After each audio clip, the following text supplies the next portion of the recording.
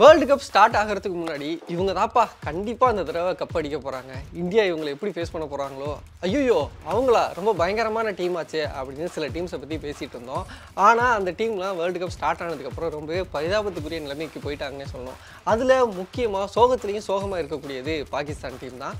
பாகிஸ்தான் டீமுக்கு என்னாச்சு? வாங்க பார்க்கலாம் நல்ல பேட்டிங் லைனாக டாப் குவாலிட்டியான ஃபாஸ்ட் பவுலர்ஸ்னு பாகிஸ்தான் மேலே வேர்ல்டு கப் ஸ்டார்ட் ஆகிறதுக்கு முன்னாடி ஒரு பெரிய எதிர்பார்ப்பு இருந்துச்சுன்னே சொல்லணும். ஆனால் வேர்ல்டு கப் ஸ்டார்ட் ஆனதுக்கப்புறம் அது நடந்ததே வேற ஆயிடுச்சு.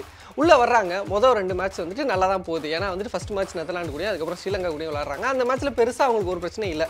போகிற போக்கில் ஜெயிச்சிட்டாங்க. எப்போ இந்தியா கூட அந்த மேட்ச் நடக்குதோ அந்த மேட்ச்சில் அவங்க தோக்குறாங்களோ அது வந்து அவங்கள பயங்கரமாக லோ ஆக்கிடுச்சுன்னே சொல்லணும்.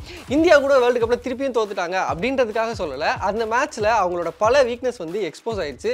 அதுதான் இந்த டோர்னமெண்ட்டில் அதுக்கப்புறம் அவங்கள சைன் பண்ண விடாமே ஆக்கிருச்சுன்னு சொல்லணும். அன்னைக்கு மேட்ச்சில் அவங்களோட முக்கியமான வீக்னஸ் எக்ஸ்போஸ் ஆச்சு எதுன்னு சொல்லி பார்த்தோம்னா பேட்டிங் லைனப் தான். அவங்களோட பேட்டிங் லைனப்பில் ரிஸ்வான் அண்ட் இஃப்திகார் இவங்களை தவிர வேறு யாருமே பெருசாக சைன் பண்ணல இது வரைக்குமே. ரிஸ்வான் பற்றி தெரியும் இந்த வருஷமே அவர் நல்லா விளாண்டுட்டு இருக்காரு. அதை எப்பயுமே கண்டினியூ பண்ணிட்டு இருக்காரு. இஃப்திகார் நல்ல ஒரு ஃப்ளோவில் இருந்திருக்காரு. அவங்கள தவிர வேறு யாருமே பேட்டிங்கில் பெருசாக ஹெல்ப் பண்ணாத மாதிரி இருக்குது அதுலேயும் குறிப்பாக பாபர் அசாமோட ஃபார்ம் வந்து பாகிஸ்தானை ரொம்பவே ஹர்ட் பண்ணுது. பாபர் அசாம் தான் கேப்டனாக இருக்கார். ஒரு டாப் குவாலிட்டியான பேட்ஸ்மேன் அவரோட ஃபார்ம்ன்றது டீமுக்கு ரொம்பவே முக்கியம். ஆனால் அவர் வந்து இன்ன வரைக்குமே பெருசாக அவரோட கேப்பபிலிட்டிக்கு ஏற்ற மாதிரியான ஒரு இன்னிங்ஸ் ஆடாது. பாகிஸ்தானை ஹர்ட் பண்ணிகிட்டே இருக்குது அது மட்டும் இல்லாமல் இந்தியாவுக்கு எதிரான மேட்ச்சில் நீங்கள் பார்த்துக்கலாம் ஒரு நல்ல ஓப்பனிங் கிடச்சிச்சு ஒரு ஒன் ஃபிஃப்டி ஃபார் த்ரீ அப்படின்ற ஒரு ஸ்டேட்டில் இருந்துட்டு ஒரு டூ ஹண்ட்ரடுக்குள்ளேயே மிச்சம் ஏழு விக்கெட்டும் இழந்துடுறாங்க. அது வந்து அவங்கள பயங்கரமாக அஃபெக்ட் பண்ணிருச்சுன்னு சொல்லணும். ஒரு ஸ்டாண்ட் பண்ணி நின்று நிதானமாக கடைசியில் ஆக்சலரேட் பண்ணுற மாதிரியான ஒரு இன்னிங்ஸோ ஒரு பேட்ஸ்மனோ இல்லாதது பாகிஸ்தானுக்கு பெரிய ட்ராபாக இருந்துட்டு இருக்கு இந்தியாவுக்கு எதிரான மேட்ச்சில் பேட்டிங் காலியாச்சுன்னு சொல்லி பார்த்தோம்னா அடுத்து ஆஸ்திரேலியாவுக்கு எதிரான மேட்ச்சில் அவங்க மலை மாதிரி நம்பிக்கிட்டு இருந்த ஃபாஸ்ட் பவுலிங் அடி வாங்கிருச்சு.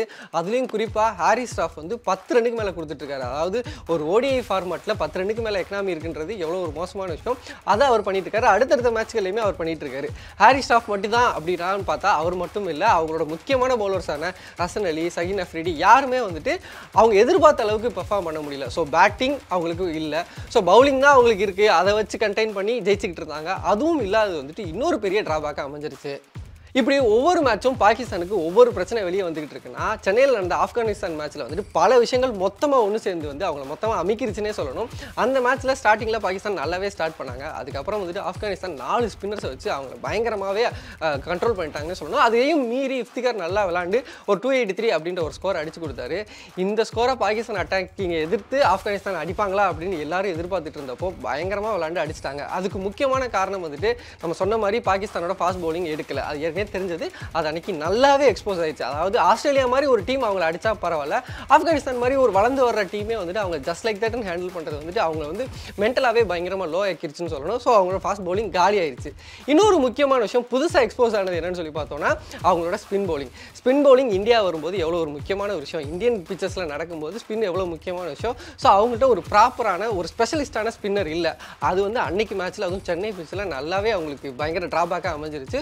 ஸோ ஒரு ஸ்பின் அட்டாக் இல்லாதனால ஆப்கானிஸ்தான் பிளேயர்ஸ் ரொம்ப ஈஸியாக விளாண்டாங்க அதை தாண்டி ரீசெண்ட் டயத்தில் வந்துட்டு பாகிஸ்தான் வந்துட்டு ஒரு காலத்தில் பாகிஸ்தானோட ஃபீல்டிங்கிறது எல்லாராலையும் ட்ரோல் செய்யப்படும். அதுக்கப்புறம் வந்து மாறி ஓரளவுக்கு நல்லா விளையாடிட்டு இருந்தவங்க இப்போ வந்துட்டு திருப்பியும் ரொம்ப ஒரு மோசமான சுச்சுவேஷனுக்கு வந்துட்டாங்கன்னு நினைக்கிறோம் ஸ்லாப்பியான ஃபீல்டிங் பயங்கரமாக அவுட் ஃபீல்டில் ஒஸ்ட்டாக பண்ணாங்க. அது எல்லாமே சேர்ந்துட்டு அன்றைக்கி ஆப்கானிஸ்தான் மேட்ச்சில் வந்துட்டு அவங்கள தோக்கடிச்சிருச்சு ஸோ கிட்டத்தட்ட ஒரு மோஸ்ட் ஃபேவரட் டீமாக உள்ளே வந்தவங்க இன்றைக்கி இந்த மாதிரி ஒரு சுச்சுவேஷனில் இருக்காங்க. Batting fast bowling spin field எதுவுமே நல்லா இல்லாமல் ரொம்ப ஒரு மோசமான சூழ்நிலைக்கு போயிட்டாங்க. இன்னும் இருக்கக்கூடிய மேட்ச்சில் இவங்க எப்படி கம்பேக் கொடுத்து அந்த அந்த பாகிஸ்தான் அப்படின்ற பேரை திருப்பி எடுப்பாங்களா அப்படின்றத பொறுத்திருந்தான் பார்க்கணும்.